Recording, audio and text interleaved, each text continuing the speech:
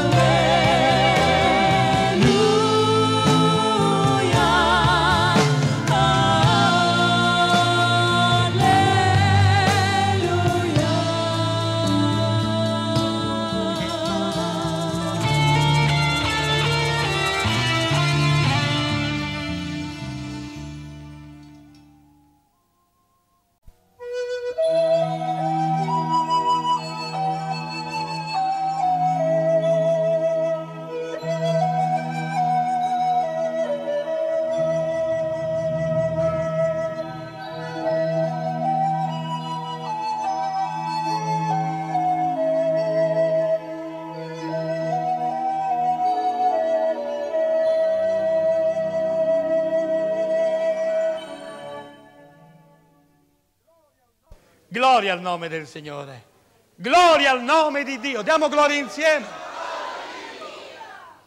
Voglio invitarvi ad aprire la vostra Bibbia nell'Evangelo di Giovanni o San Giovanni al capitolo 11.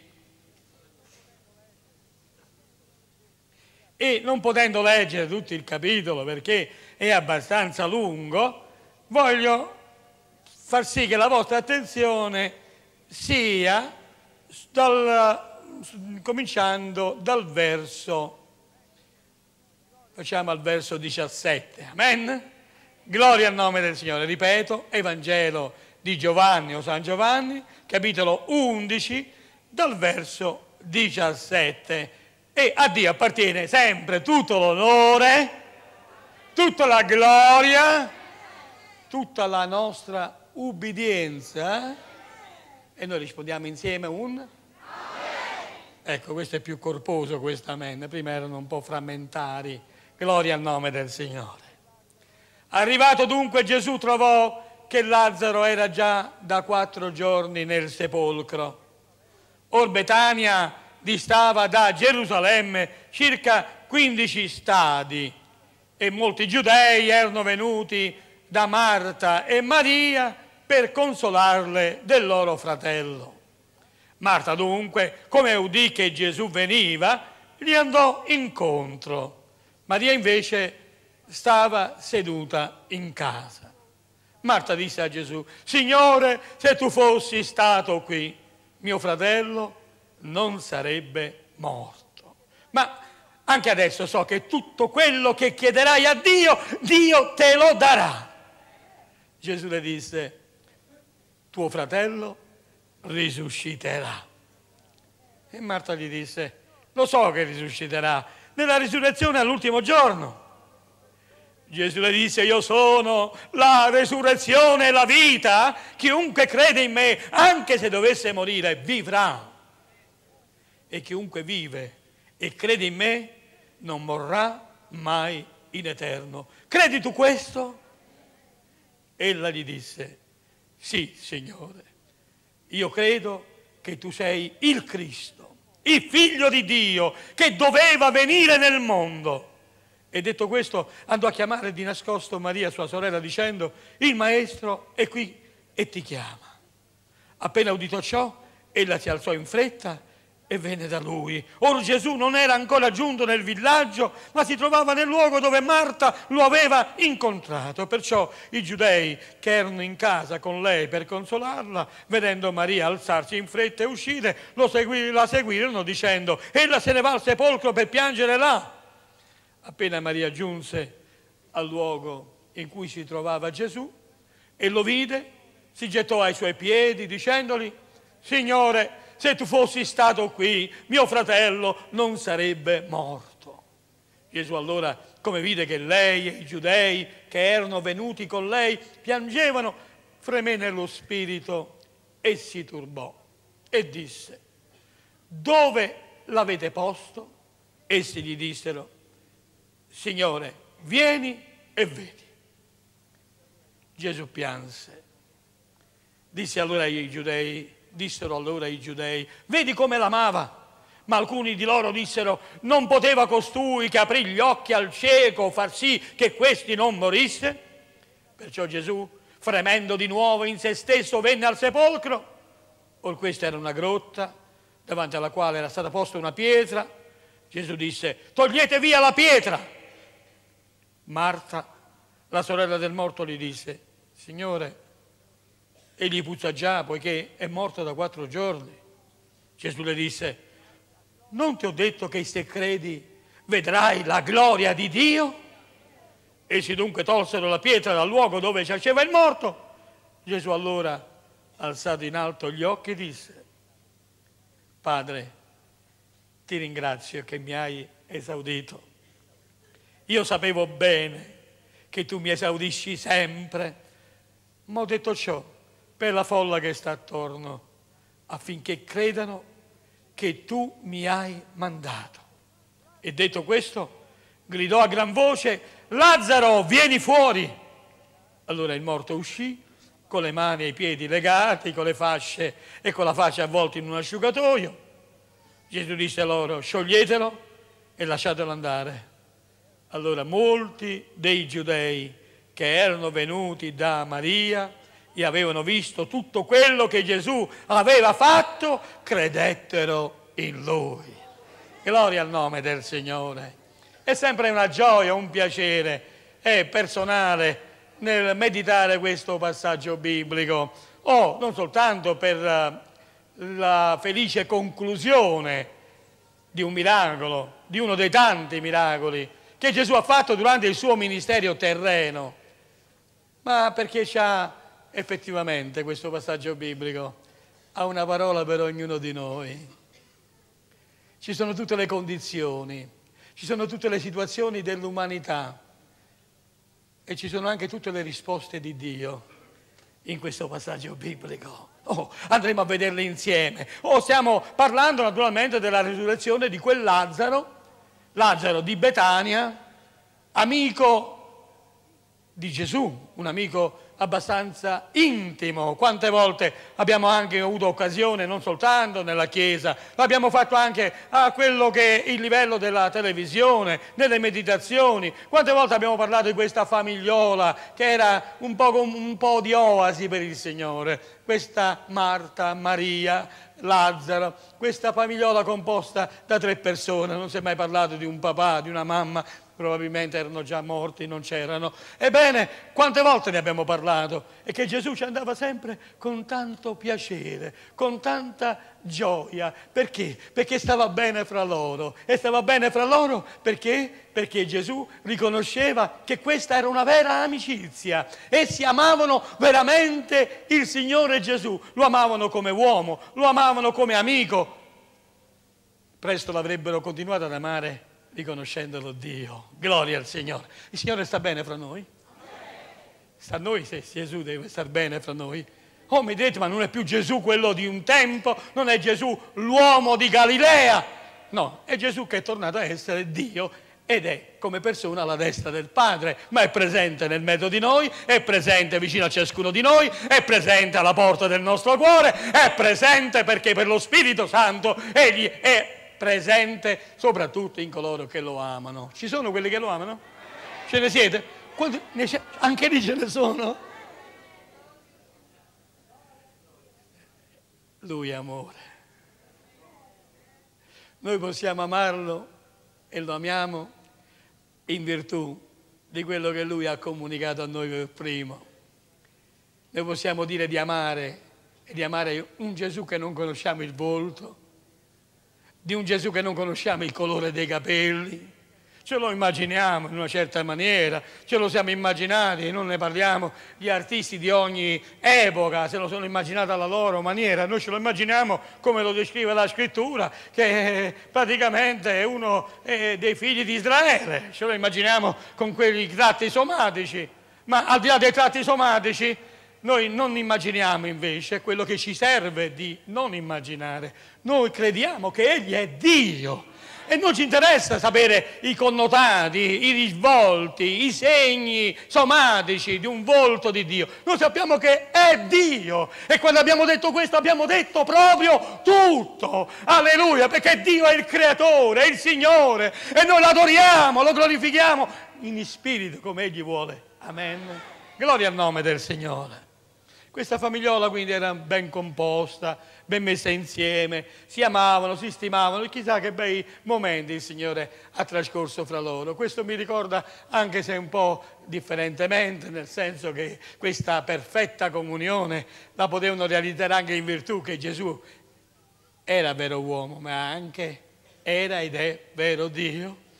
Ma mi ricordo anche qualche fraterna amicizia di tanti anni fa lo ricordano anche altri, a volte con dei fratelli, con delle famiglie, abbiamo avuto dei servitori, abbiamo avuto dei momenti in cui entrando in casa di questi servitori ci sentivamo veramente in un'oasi, ci appartavamo un pochino da quello che erano tutte le nostre realtà umane, le battaglie, le situazioni. E voi sapete che Gesù ha avuto nel suo pellegrinaggio umano, nel suo ministero, che è durato circa tre anni, soprattutto ha avuto tre anni di grandi guerre, combattimenti, è vero? Però alla fine poi ha vinto. Ha vinto? Sulla croce ha vinto. Ha vinto sulla croce. Se qualcuno dice che è morto sulla croce, quella è la vittoria. Perché per quella morte egli ci ha dato e ci dona vita e per quella morte ci dona vita eterna. Voglio sentire il vostro amen un pochino. Gloria al nome del Signore.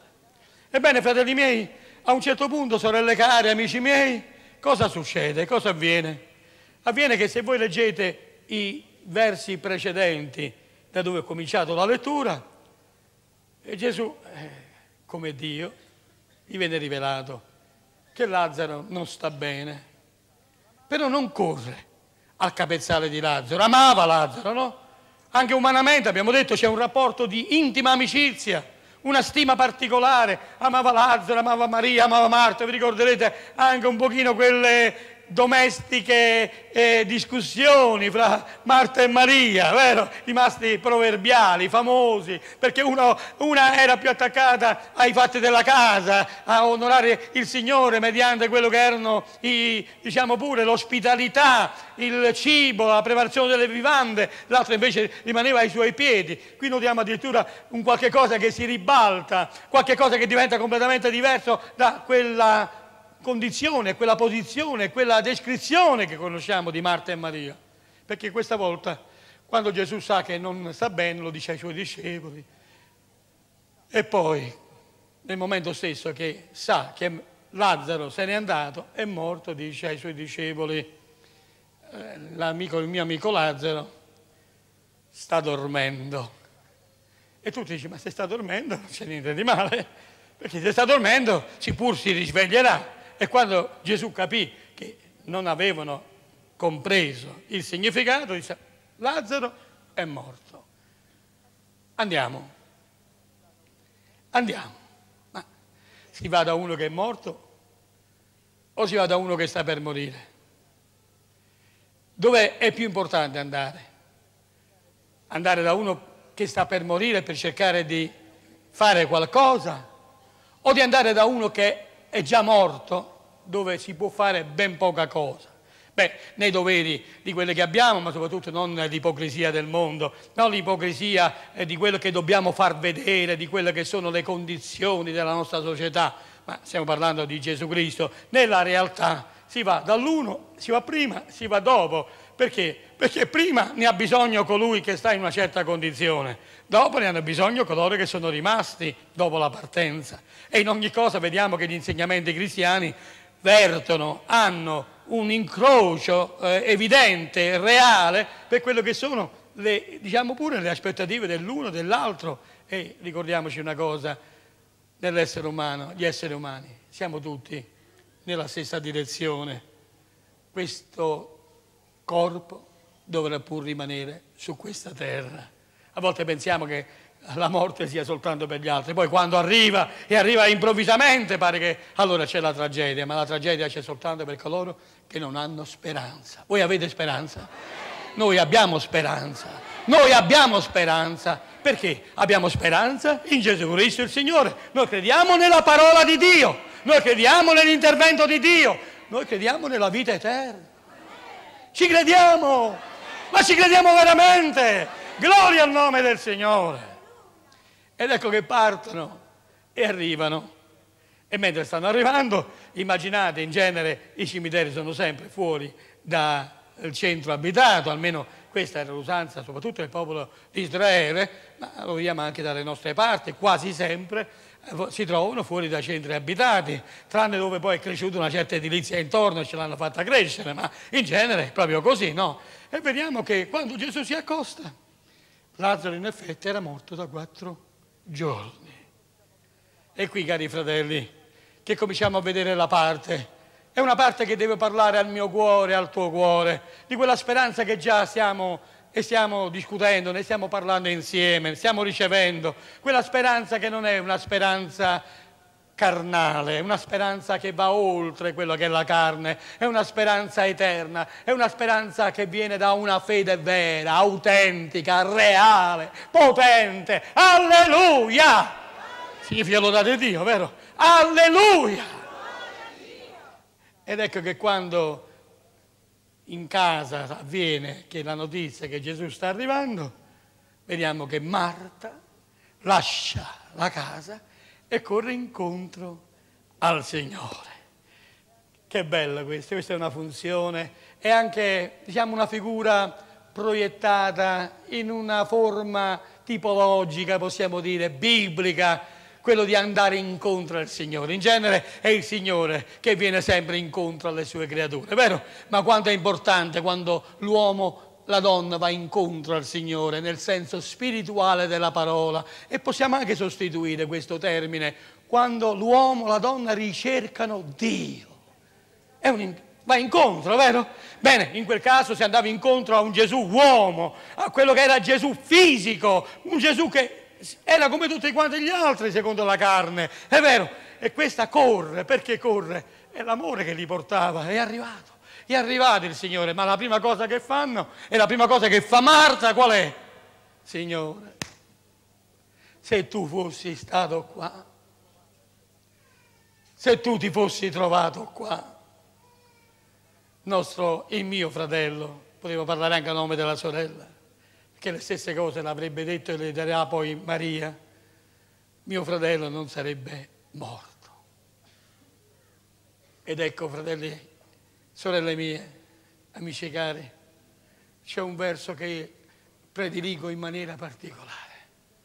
In questo passaggio biblico c'è un verso che in genere ho sempre consigliato a tutti i cristiani nati di nuovo di acqua e di spirito che si addormentano col Signore, di metterlo come testimonianza su quello che è la tomba, che pur deve essere qualche cosa, una degna sepoltura, un onore.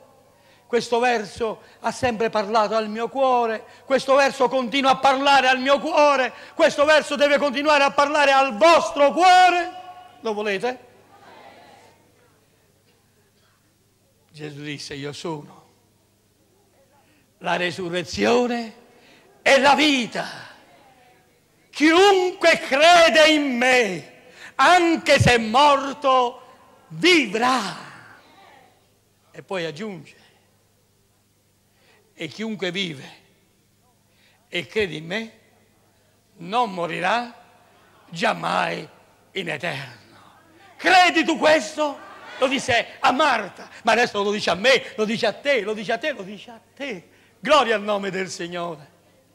Ed ecco che qui può entrare in conflitto la mentalità dell'uomo, il raziocinio, l'intelligenza, comincia a dire ma com'è possibile? Quello è morto. E a un certo punto, quando uno è morto è finito. E quanti ce ne sono che dicono ma fammi pensare a divertirmi, fammi pensare, tanto oggi o domani si muore, dopo la morte non c'è più niente. Ce ne sono tanti che ne fanno poi una religione. E quello che è finito è finito. No, ma sei proprio così sicuro? Sei sicuro che dopo la morte non c'è niente? Ne vorrei trovare uno che fosse sicuro ma chi mi dice che è sicuro è il più bugiardo dei bugiardi, perché l'uomo questa sicurezza non ce l'ha, ma l'uomo di fede ce l'ha, che in Gesù Cristo, benché sia morto, vivrà, e chi crede nella fede di Gesù Cristo morirà nel corpo, ma sa che avrà una vita eterna. E vita eterna solo Gesù te la dona. Alleluia! Gloria al nome del Signore. È meravigliosa questa parola. E Marta capì e non capì. È colpa di Marta? No, non è colpa di Marta. Marta è una donna, è un essere umano. Ha conosciuto prima già il Signore. Hanno avuto chissà quanti bellissimi colloqui, chissà quanti insegnamenti ha elargito durante le permanenze in Betania, questa piccola cittadina che distava pochi chilometri da Gerusalemme. Ma in quel momento la donna affranta, la realtà è questa. Il dolore gli spacca il cuore, quel fratello lo amava, era un fratello e soprattutto una famiglia che era unita, molto unita, una famiglia indubbiamente moralmente a posto e anche spiritualmente a posto. Gloria al nome del Signore e sa che sono quattro giorni e sa che dopo quattro giorni Anche la- il cadavere ben tenuto, il meglio tenuto, dopo quattro giorni, comincia già, è già cominciato il processo di putrefazione. E quando il Signore gli dice, tu credi questo? Ebbene, prima ha detto se tu fossi stato qua, il mio fratello non sarebbe morto. E poi conferma ancora con le sue parole, dice, ma Dice sì, lo credo che tu lo risusciterai, lo risusciterai nell'ultimo giorno, ma il Signore aveva permesso che Lazzaro si addormentasse per dimostrare una qualità che ancora loro stessi non riconoscevano in lui, anche amandolo. Si può amare il Signore, si può amare anche sotto un certo aspetto, ma l'amore deve essere, deve essere completo, soprattutto nel credere che Gesù Cristo è Dio.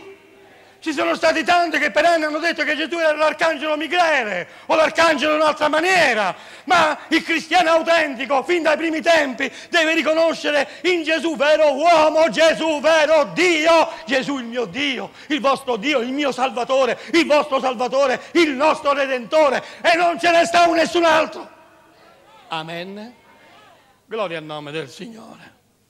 Vedete che tutto questo colloquio, mi direte siamo ancora in quello che è la fase teorica, il ragionamento, il combattimento della mente. E quante volte è successo, anche per noi, vero? È successo di dire, ma se il Signore avesse voluto, ma se il Signore avesse deciso, non sarebbe successo questo, non sarebbe successo quell'altro. Io sto parlando a cristiani che hanno fatto un'esperienza, perché molti mettono il Signore ma non adorano Dio non glorificano Dio e poi pretendono che Dio risponda. Noi sappiamo che Dio nella sua misericordia fa piovere sui giusti e sugli ingiusti. Sappiamo che Dio benedice tante volte anche gli incoscienti. È vero o non è vero? Ma quello che chiamiamo divina provvidenza è proprio l'amore di Dio verso l'incoscienza degli uomini. Questa è una delle definizioni che potremmo usare. Ma una cosa è certa, io sto parlando invece a quei cristiani che stanno che tante volte, ma perché il Signore ha fatto questo? Ma perché non ha fatto quest'altro? Ma perché non ha fatto quel che volevo io che Lui facesse? Io voglio ricordarvi solo una cosa, che Egli è il Signore. Cristiani, Gesù è il Signore. E quando abbiamo detto il Signore, Egli non è un Signore, è il Signore. È domini in senso assoluto. E se noi ci siamo sottoposti a Lui, sappiamo che Egli sceglierà sempre, Egli farà sempre quello che è buono per ciascuno di noi perché dietro alla porta dell'angolo, dietro all'angolo della strada, nella curva, non ci vede nessuno. Lui vede oltre le curve, egli guarda nei nostri cuori, egli conosce la nostra vita. E noi abbiamo fatto una cosa molto bella, vogliamo incoraggiare a fare anche a quelli che in questo momento magari sono in sofferenza, quelli che hanno delle difficoltà, quelli che hanno un momento veramente di grande tristezza. Noi abbiamo fatto la cosa più semplice che ci potesse essere e vogliamo rimanere in questo che abbiamo fatto. Noi abbiamo messo, io ho messo, voi, io credo che direte amen, la mia vita è nelle mani del Signore. L'abbiamo fatto? Lo continuiamo a fare? Lo continueremo a fare? Abbiamo desiderio di continuarlo a fare? tutto il rispetto alla scienza, tanta gente mette la propria vita nelle mani del professor Tizio, del professor Caio, l'operazione riesce bene, ah, che mani d'oro, che bisturi eh, di smeraldo o altri materiali, poi riesce, se riesce male, mala sanità, e ha sbagliato l'operazione, beh perché è umano, ma nell'uomo ci può essere l'errore, l'uomo non è padrone della vita. L'uomo non può dare la vita a nessuno e vediamo che ci sono anche professionisti seri, anche nel campo medico, che dicono se Dio vuole opererà, se Dio vuole ti darà la guarigione e questa è serietà perché anche fra i medici ci sono dei grandi fratelli, dei cristiani autentici e speriamo che ce ne saranno sempre di più. Speriamo, così non si parlerà più di mala sanità. Alleluia! Gloria al nome del Signore. Erano quattro giorni e Lazzaro era stato messo in questo sepolcro. Beh, una tomba, una forma di tumulazione per parlare in termini più pratici. Abbiamo visto, ho avuto possibilità di vedere come sono fatte queste tombe. Beh, in pratica una grotta, lo descrive stessa la scrittura, dove i defunti venivano avvolti con delle bende, con degli asciugatori, come hanno fatto anche con Gesù. Gesù uomo, E poi usano dei profumi particolari per rendere quell'onore, quella dignità, quella rispettabilità che merita un essere umano. È, è biblico tutto questo. Non è biblico quando si fa una cattedrale su una tomba. Non è biblico quando si spendono i miliardi per cose inutili. Quando dice mi faccio la casa al cimitero e quanti ce ne sono, mi faccio la casa al cimitero. Io non voglio farmi una casa al cimitero, io voglio avere la mia casa nel regno del cielo, come dice Giovanni capitolo 14. Nella casa del Padre mio ci sono molte stanze. Io vado avanti a prepararvi il luogo perché dove io sono sarete anche voi. E io credo. Lo crediamo insieme. Alleluia al nome del Signore. Ma la degna sepoltura ci deve essere, nemmeno fra la spazzatura. L'essere umano è una persona diversa da ogni altra creatura. E vediamo che Lazzaro aveva ricevuto una degna sepoltura.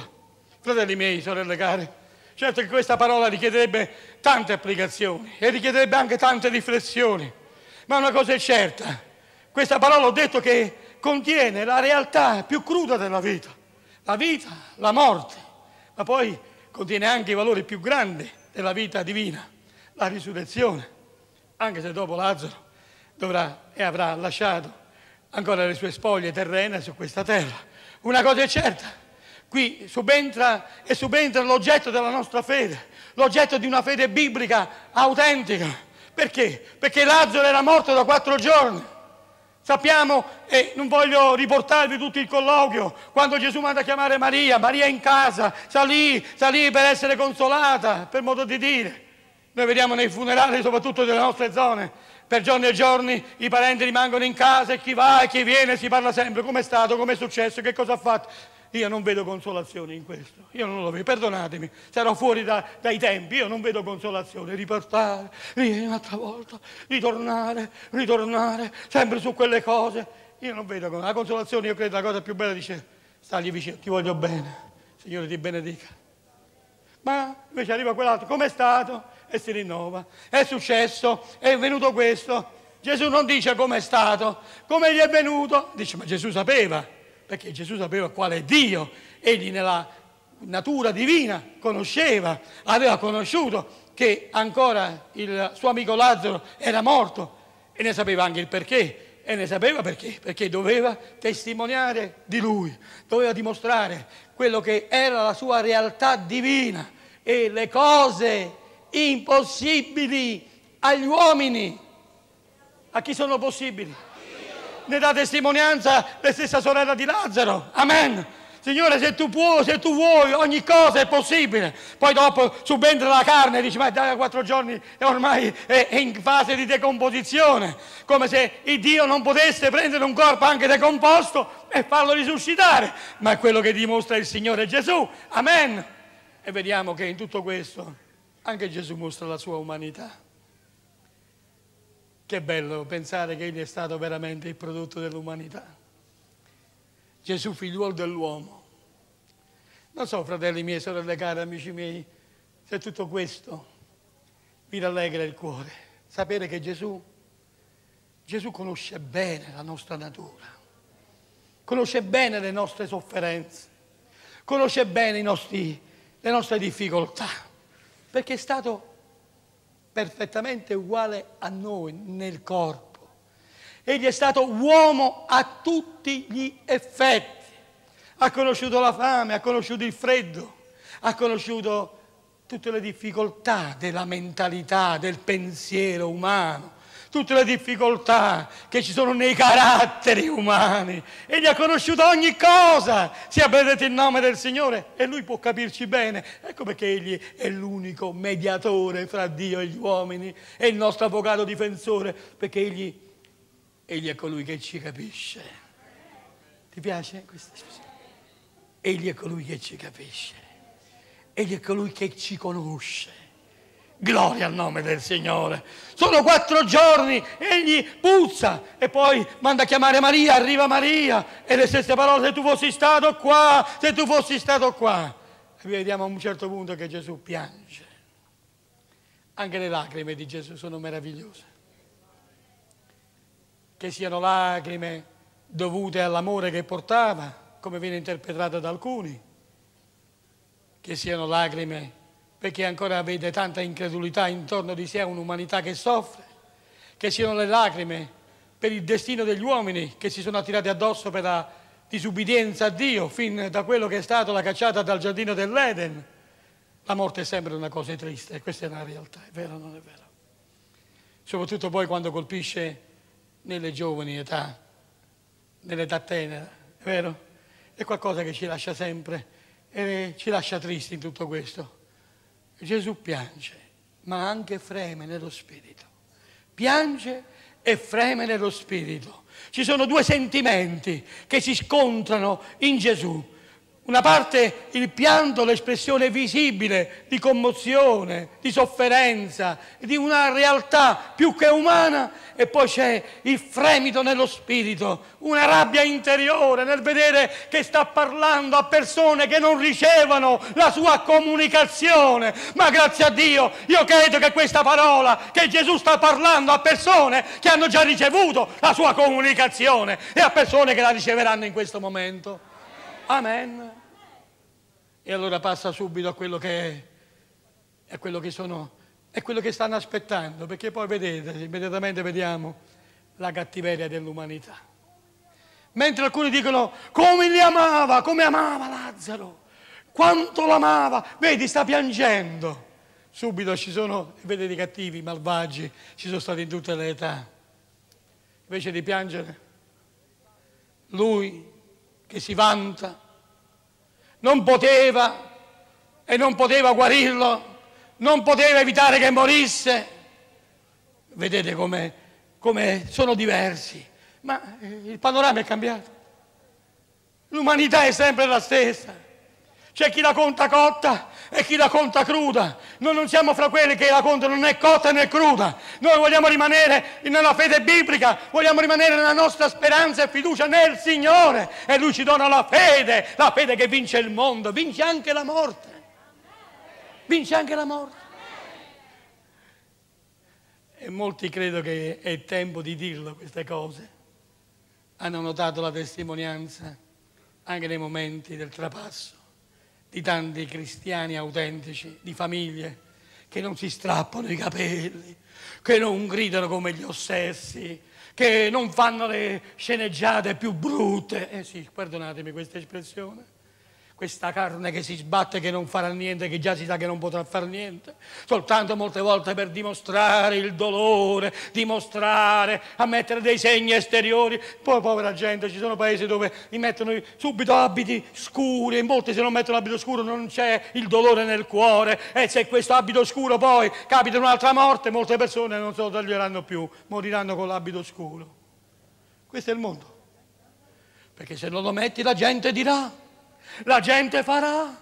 E questa è la schiavitù. Oggi c'è una società che si dichiara libera e non è per niente libera perché è condizionata sempre. Ma chi ha il Signore nel cuore non è condizionata perché Egli è la risurrezione. Ditelo insieme a me. Egli è la risurrezione e la vita. E noi abbiamo creduto in Lui. Amen. Gloria al Signore. Egli freme nello spirito, questa gente vuol vedere, sta giudicando chi ha detto una cosa, chi sta dicendo una cosa peggiore. È arrivato il momento di manifestare che egli non è soltanto vero uomo, è vero Dio. Togliete la pietra davanti al monumento. Togli l'ostacolo davanti al tuo cuore.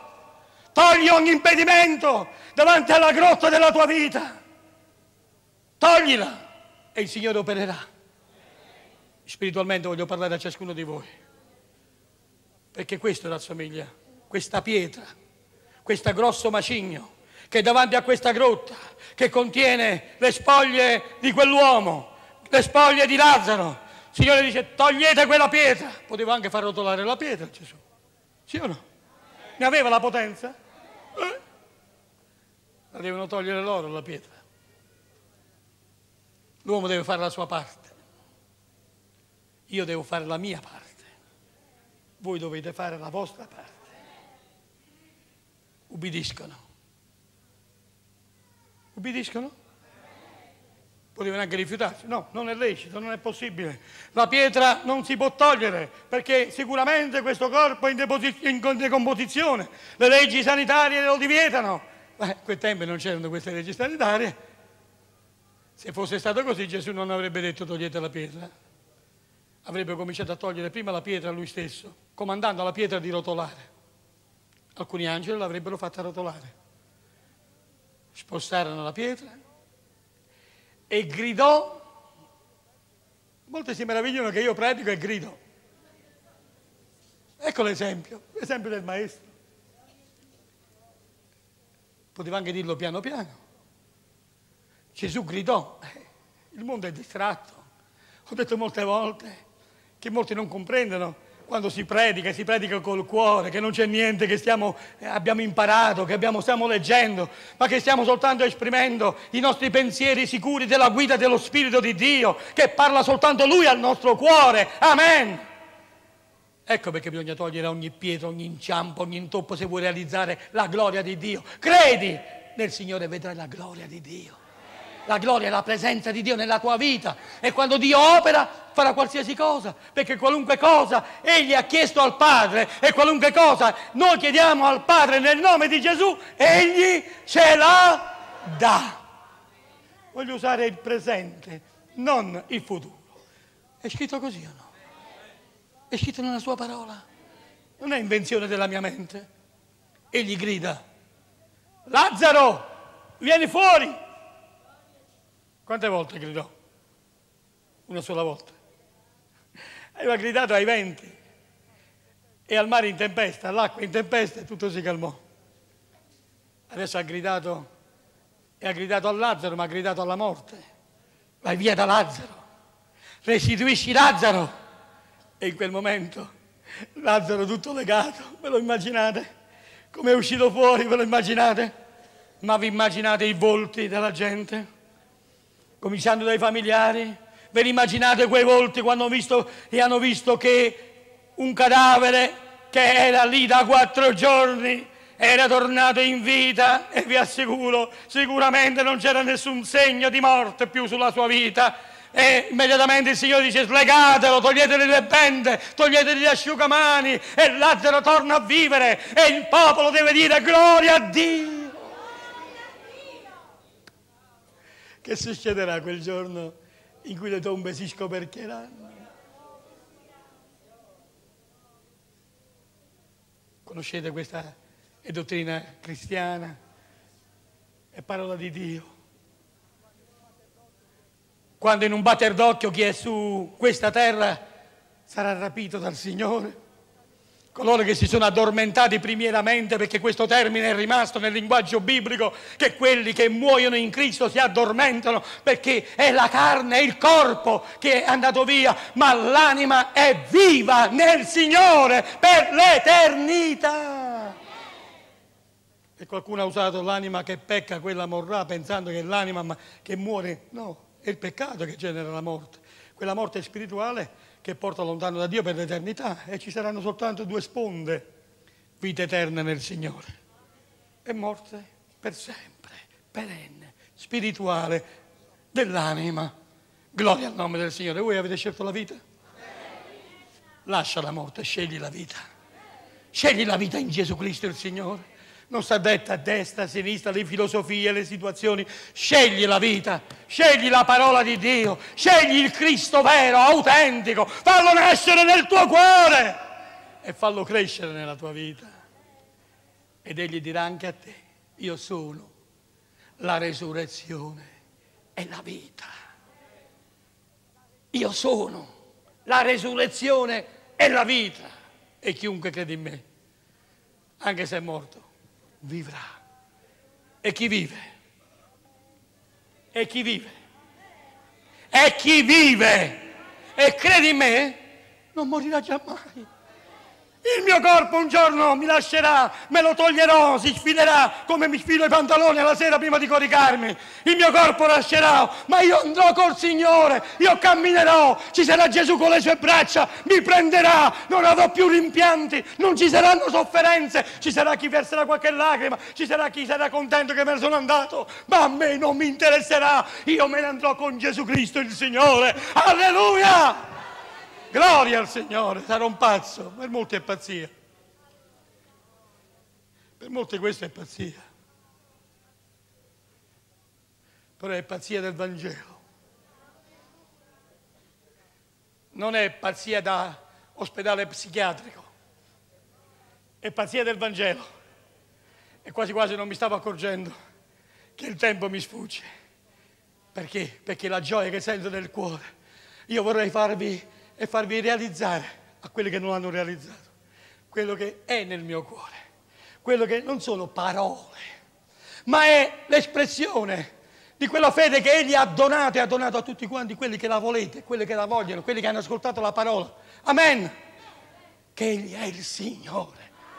E Paolo, il pazzo dei pazzi, l'Apostolo Paolo diceva, la morte mi è guadagno perché la mia vita è in Cristo Gesù il Signore. Il Dio vi benedica, vogliamo alzarci all'impiedi e vogliamo chinare il nostro capo. Gloria al nome del Signore. Alleluia. Vogliamo inchinare il nostro capo, vogliamo adorare il Signore, vogliamo lodare Dio, vogliamo benedire il nome del Signore, vogliamo ringraziare Dio per la sua parola. Alleluia al Signore. Vogliamo chinare il capo. Padre Santo, Padre Giusto vengo a te nel nome di Gesù per lodarti, glorificarti, ringraziarti. Padre, questa parola certamente ha parlato a tanti cuori. Sì, Signore, in una maniera ruspante, in una maniera super popolare, ma come ha parlato sempre il tuo figliuolo? Ha parlato in parabole, ha parlato con esempi, ha parlato mediante l'espressione della tua potenza e della sua potenza perché il tuo figlio è Dio. Alleluia. Padre, ti prego in questo momento e ti preghiamo insieme. Tocca quanti sono nel dolore, nell'afflizione. Tocca anche quanti credono e hanno sempre creduto di aver avuto una fede, ma si accorgono che non l'hanno mai avuta. Perché l'abbiamo ricordato e lo ricordiamo, che la fede viene dall'udire la tua parola Padre, benedici questa umanità, benedici i nostri telespettatori, benedici le persone che sono qui per la prima volta ancora in questo servizio di culto. E tu continuerai a benedire ognuno, perché tu solo puoi benedire, tu solo, e noi confidiamo in te. Grazie Padre, grazie oh Dio, ricevi il nostro ringraziamento e la nostra lode, nel nome di Gesù Cristo il Signore, il benedetto in eterno.